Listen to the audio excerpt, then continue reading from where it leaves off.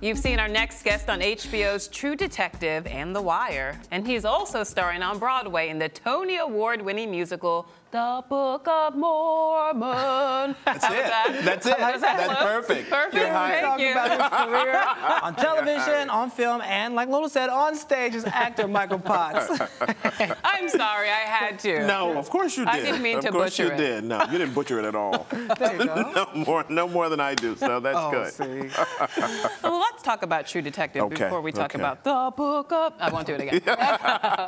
Tell us about your character, your character, director Gil Bao. Gilbough, Yes. Detective Gilbough. And what uh, drew you to this project? Um, well, I'll tell you, Detective Gilbough, Mm-hmm. uh, uh, Maynard is his first name. Maynard Gilbough is a Louisiana, State detective. Mm-hmm. He's the lead detective on this new case, along with his partner, Thomas Papania, played by Tory Kittles. And we've caught this case that has uh, a, a serialized murder that has the uh, occult tones that's very, very similar to a case, almost identical to a case that uh, the detectives Rustin Cohle and Martin Hart, played by uh, Matthew McConaughey and Woody Harrelson, respectively, had gotten back in 1995. So we've been called in to try to solve this new case. This new case. All right, Yeah, well, we have a yeah. clip. Let's take a look, then discuss a little more. All right. All right. Do you want to talk the whole case through or just the end? No. Whole story from your end, you don't mind. You know, like he said, files got ruined. Hurricane Rita. But what he didn't say is that this is about something else. Something new that won in Lake Charles, maybe? Now why you see that? Get the details out of the paper. Yeah, we did. You know anything about that? About Lake Charles. Yeah, let me see what you got. Jog my memory. Well, let's hear your story first. See how it fit with what we got. You're down, boss. You guys are like playing chess. Right. That was so oh, good. Oh, yeah. Oh, yeah. Big time chess players. There's a palpable chemistry there. What's the mood like on set? Uh, well, with Matthew, Matthew and Woody are very, very different. Matthew, because he's playing the, the darker and more intense role, was really very much like that uh, on the set, and pretty much even during breaks or during cuts. He was pretty much always kind of concentrated and staying in the in the character. Okay. And uh, we were shooting for very, very long hours. I remember particularly that scene in a very small interrogation room, so it was always very, very intense and tended to be really, really quiet in between, in between shots. So, um, but no, that was good That was because good. yeah, it was really, really good. Well, overall, it seems a little bit more grim than some of the other cop shows that are out. How is it different from other shows, you know, Law and Order, Blue Blood, Right, right, CSI? right. Well, you know, but not to be disparaging of that, but you, you No, know, law. ahead, no, no, no, no, I. Give won't us the do that. but you know, Law and Order, because you know we've got huge followings. Right. Law and Order, and everybody loves them, including my family. is that those are you know, they're, procedural dramas. They're Mm-hmm. formulaic. You know how they're going to end. You know how it's going to work. You're going to see the crime. you know, Exactly. then we're going to see the A nice, investigation. Yeah, and this is is more gray. Mm-hmm. I mean, it's more gray and it's much much darker. You know, much more intense, and you don't know.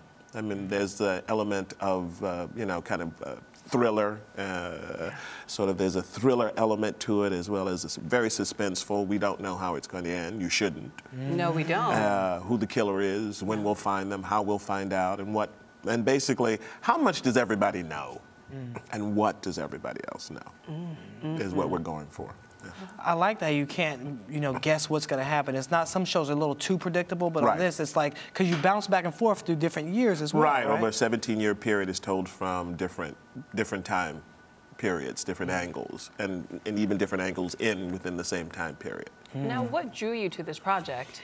Um, an audition. An audition? well, that always works. My manager, manager. he drew me. That to- helps. He drew me to this project. it's like, here's this project. right? it's the project they would they would like for you to come in and read for it. How about that?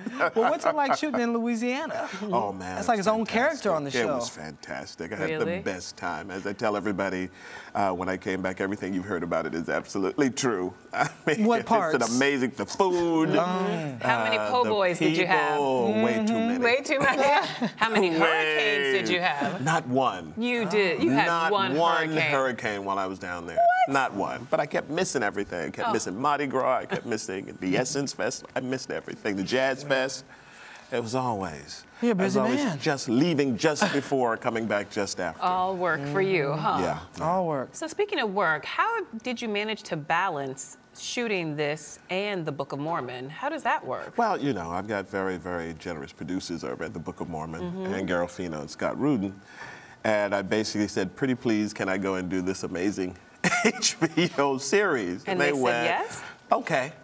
And I said, uh, also, pretty please, can I come back and still have a job when I'm done? And they went, okay, yeah. Mm-hmm. Really? Wow. Yeah. That's huge. Did you Yeah, have any huge. idea that Book of Mormon would become such a phenomenon? No, no clue, no clue. I thought, uh, think, you know, speaking eh, most optimistic, I thought, okay, a year. We, we may get a, a year out of this, but it wouldn't turn into the juggernaut that it is. I mean, it's kind of, uh, It's been a commercial Surprising. and critical success. Huge. And you rarely never find those it. two. Never saw it coming. What makes it work with critics and audiences? I think, well, I don't. Uh, number one, the creators, Trey and Matt and Bobby, they love musicals. They absolutely do, and this is really an old-fashioned musical. I mean, it is your basic old-fashioned musical. The story is relatable to everyone else. It doesn't ostracize their incredible fan base from mm. South Park and also from Avenue Q with Bobby Lopez.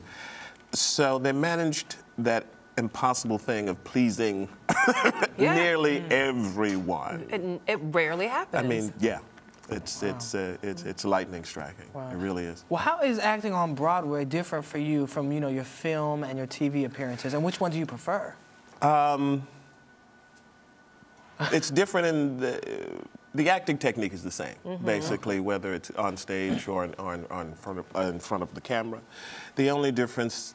More so is that the camera it's smaller. Okay. I mean, as you well know, you know, and so you're limited in how much and how far you can move, your physical, um, your physicality that you can use on camera. Like probably I'm gesticulating way too much for most No, we directors like on it. I camera. get what you're saying.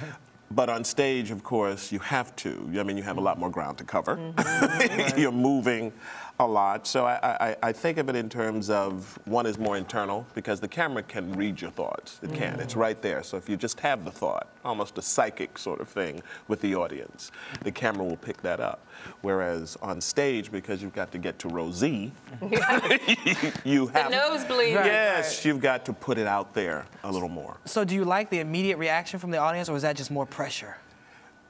No, I like I like the more Okay. immediate reaction. Okay. I mean, it was a nice thing going back, you know, coming back after having shot mm-hmm. True Detective, and those first few nights, you know, you're getting back into shape for it, getting used to it again, and and realizing like, wow, nothing kind of beats this live audience experience. They're like right there. They kind of let you know mm-hmm. what they think immediately. Mm-hmm. Wow. Do you remember your first time on the stage? Oh.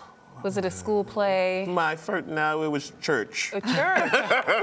okay, you know, take us those, back. those lovely Christmas and Easter pageants at my grandparents' church, which you had no choice but to do. So, when you at that age, did you say, "Oh, I want to be an actor," or did you have- Absolutely not. What did you wanna like, do? no. So what did you Uh, wanna do as a no, I didn't want to do it at all. I mean, I, I mean, Were you initially, shy?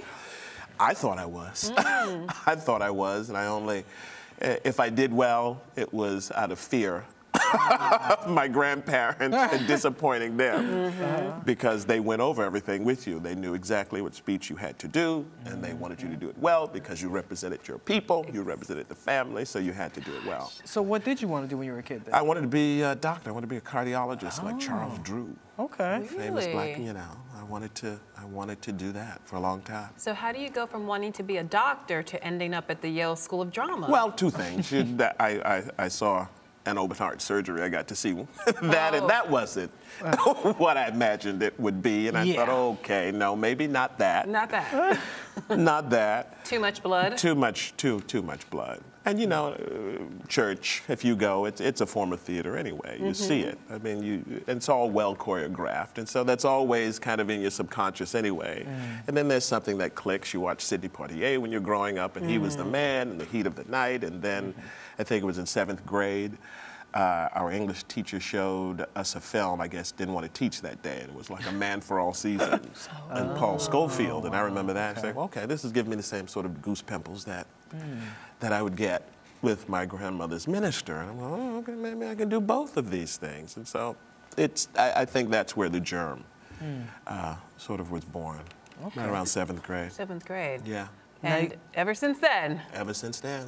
Well, there's been some other amazing actors that have come out of Yale Drama School, like Lupita oh, Nyong'o. Oh, my, oh. It's award season. Oh. What do you have to oh, say? Oh, Lupita, Lupita, Lupita. okay. That's what I say, male or female. She's uh-huh. given the most amazing performance this year. so you think she deserves to win she, the Oscar? oh my, yes. Okay. well, you heard it here. Fan? Okay. Huge fan.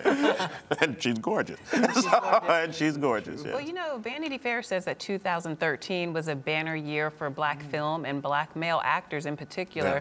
What do you think of that assessment, and what are your predictions for 2014? Was last year a fluke, or will we see even more work for black actors this year? Well, I hope. I hope there's. I hope there's more. Uh, What has been great about 2013 was just the variety of work. I mean, you had Michael B. Jordan in Fruitvale, and then you had uh, Chiwetel, and then you had Idris. So you had a diversity of work that we hadn't had before, and so I'm hoping that continues. And I also was reading that the audiences for for black film um, have become more diverse. And so that's what I'm hoping will continue. I hope it's the start of something that becomes the norm as opposed to just the exception. Got it. All right. Got So it. Yeah. what's next for you? You're so busy already, but I'm still what's next on your schedule? I'm still busy. I don't know.